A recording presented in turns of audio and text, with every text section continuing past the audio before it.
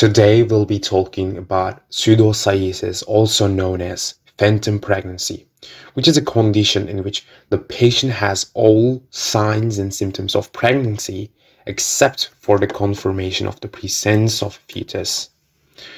We can see abdominal enlargement, menstrual irregularities, sensation of fetal movement, gastrointestinal symptoms, breast changes, abdominal pain, and urinary frequency in these patients. These symptoms can last for just a few weeks, for nine months, or even for several years.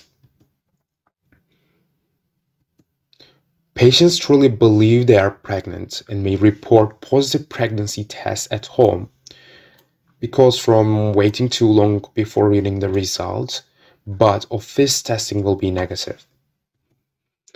An ultrasound will be normal and show the absence of a developing fetus.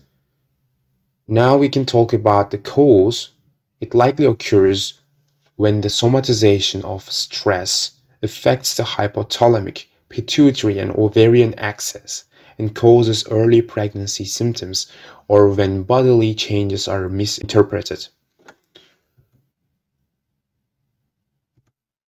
Treatment goals include reduced pressure to be pregnant, engagement in other valued goals and activities, reduction of physical signs and symptoms suggestive of pregnancy, and also improved insight, improved social and occupational functioning, and reduced risk of recurrence.